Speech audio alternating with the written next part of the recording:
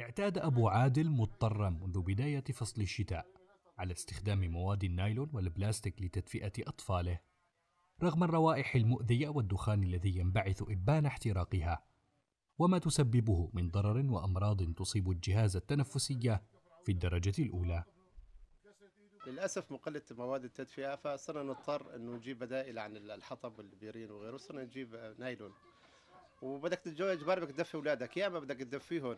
بنايلون أو بدك تعيفهم للبرد يا إما بدهم يمرضوا من البرد يا إما بدهم يمرضوا ندفيهم ويمرضوا من النايلون فعم نحاول جهدنا إنه ندفيهم فهالشيء للأسف عم ينعكس على صحتهم وعلى صحة الأطفال أكثر شيء. عم يسبب لهم أمراض تنفسية اللي كان التهاب قصبات واللي كان ربو واللي كان مشاكل كثيره بسبب إنه هذا عم الولد عم يقعد بقلب الغرفة والغرفة عم يحترق فيها الأكسجين ما عم بضل مجال الولد من غير ما يشعر عم يمرض.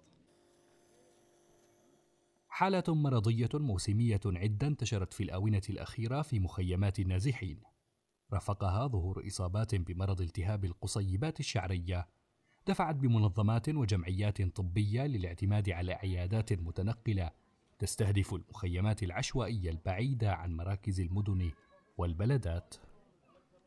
الحاجة الملحة هي وجود الإنترنت التنفسية الشائعة حاليا بفصل الشتاء آه، عند سواء عند البالغين أو الأطفال. آه، التهاب القصيبات الشعرية عند الأطفال تحت السنتين التهاب القصبات الحاد آه، أكثر الإنترنت التنفسيه يعني أكثر شيء الفئة المتأثرة بهذه الأطفال تحت السنتين.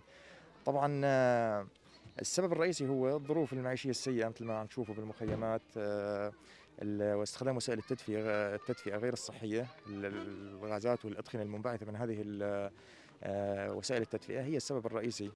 تزداد الاحتياجات الإنسانية الأساسية فيما يربو على 1800 مخيم في ريفي إدلب وحلب.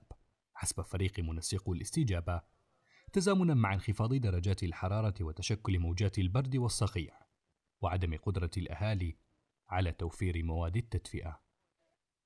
اعتماد النازحين هنا على استخدام النايلون والبلاستيك للتدفئة انعكس سلبا على صحة الأطفال والبالغين وأدى لانتشار أمراض تنفسية بعضها وصفت بالخطيرة. في هذه المخيمات. مصطفى الخلف الرافدين ريف إدلب.